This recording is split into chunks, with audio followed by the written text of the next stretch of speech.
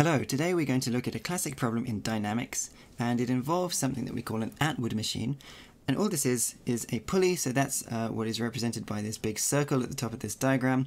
It's a pulley with a string or a rope draped over it, over the top of it and there is a mass connected up to either end of that string.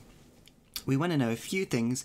Firstly, we just want to know how is this system going to evolve over time? In other words, how are the masses going to move? And also we're interested in what the tension force is going to be uh, in the string. Now, in order to make this problem a bit more tractable, we're going to make a few assumptions. So firstly, we are going to assume that there's no friction between the string and the pulley. And what this allows us to do is assume that the tensions on both sides of the pulley are the same. So there's going to be tension force, uh, let's say T, acting on the left part of the string, which is going to be equal to the tension force T acting on the right hand side of the string. Now, we're also going to assume that the string itself doesn't have any mass, so we don't have to take into account the inertia or the weight of the string. Um, and we're going to assume that the string is inextensible, and what that allows us to do is say if M2 moves down by some amount, then M1 has to move up by exactly the same amount because the distance along the string between M1 and M2 is kind of, it's fixed, right? So those are the assumptions we're going to make. Uh, let's see how we're actually going to do the calculations. Well, our general approach is going to be considering forces, and so a good start would be to sketch on all of the forces acting on the various parts of our system. So let's consider the mass m1 first. Well, of course, um, it is a, a, massive object, so it has a weight. The weight is going to act straight downwards, and it's going to be m1 g, where g is the gravitational field strength. But then, of course, it's connected up to this string, right? The string has a tension in it, um, and we're going to call that T, and so the string is pulling up on M1 with a force of T. Now, as we said, because it's a smooth pulley with no friction, we can say that there's the same tension T on the other side of the string pulling up on M2, and of course M2 also has its own um, weight acting downwards, which is going to be M2G. Okay, so let's think about how the masses are going to move. Um, well, suppose that M2 is bigger than M1, then what you would expect is that M2 moves down, right, because M2 is the heavier one.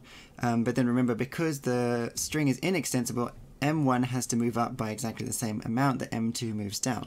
So what we can do is draw in a little double arrow for acceleration here, label this A, and then say that if M2 is accelerating downwards with acceleration A, then m1 has to accelerate upwards uh, with exactly the same acceleration. So we've set up all our forces and uh, drawn our accelerations. If we want to find the accelerations, then the way to do that is use Newton's second law, right? Because it relates accelerations to forces. So my abbreviation for Newton's second law is N2L. We're going to apply that first to mass 1. Okay, so Newton's second law applied to mass 1 what are we going to get? Force is mass times acceleration, right? That's what Newton's law, second law tells us. The mass times the acceleration is easy. It's just m1a. Um, and what is the force going to be? We're interested in the force in the direction of that acceleration.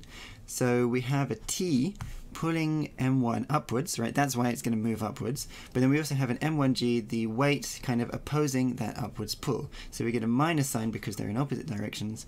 Um, and there we go. There's our equation of motion for particle 1.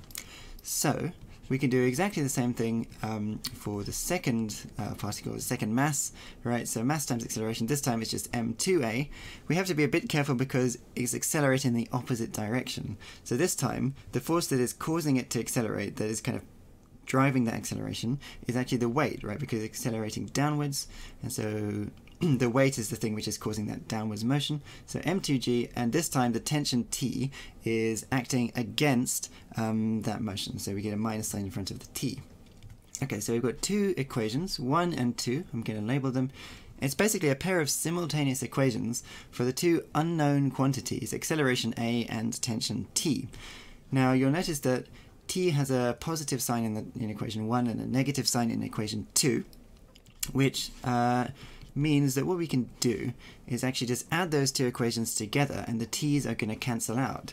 So on the left hand side you're going to have m1a plus m2a which we can factorize as m2 plus m1a right and on the right hand side you get t minus t that cancels out that's where we added them together and then you get m2g minus m1g um, which we can factorize as m2 minus m1g. So just rearrange this and we get acceleration A is m2 minus m1 over m2 plus m1 g. Okay, so the acceleration depends on the difference between the two masses, right? Um, and so if m2 is bigger than m1, then acceleration is going to be positive, meaning if m2 is bigger than m1, the accelerations are in the directions that we've drawn them on. Um, so m2 is going to move downwards, so that's consistent with what we'd expect. If it's the other way around, and m1 is bigger than m2, then the numerator of this fraction would be negative, so the acceleration is going to be negative, implying that the accelerations are in the opposite direction to how we've drawn them. Again, that's what we would expect, right? Because if m1 is heavier than m2, then um, m1 is going to be the one that moves downwards. And finally, note that if m2 and m1 are exactly equal, the acceleration turns out to be zero because the system is perfectly balanced, right? So it's not going to move. So there you go, that's the acceleration. Uh, let's also figure out the tension, right? And to, to figure out the tension, we can use either of these equations, one or two.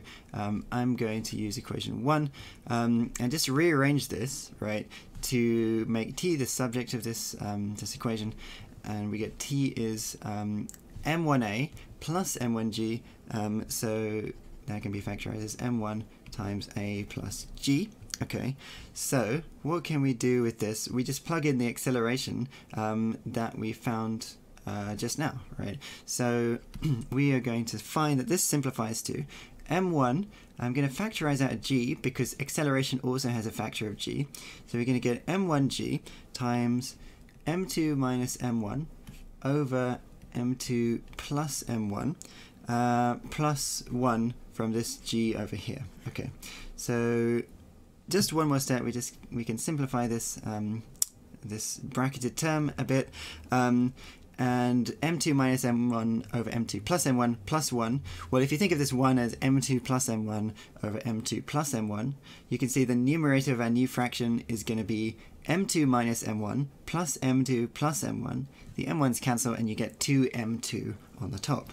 So putting that all together, um, the tension is going to be 2m1 m2 over uh, m1 plus, or let's write it, just to be consistent with the previous expression, we can write it as m2 plus m1 uh, and all of that multiplied by g. And there you go. You might um, if you've uh, if you're reasonably familiar with uh, mechanics problems you might have seen this combination of masses before. The product over the sum this thing is known as the reduced mass and it often comes up in in problems where we have uh, two masses connected up for example uh, like diatomic molecules Okay, so there we go. We know how the system is going to move. The particles are just going to accelerate with this constant acceleration. And we also know the tension in the string. I hope that's been uh, interesting and useful. I'm also planning to uh, make another video soon where I consider what happens if you have uh, friction between the string and the pulley. So I'll see you again soon to have a look at that.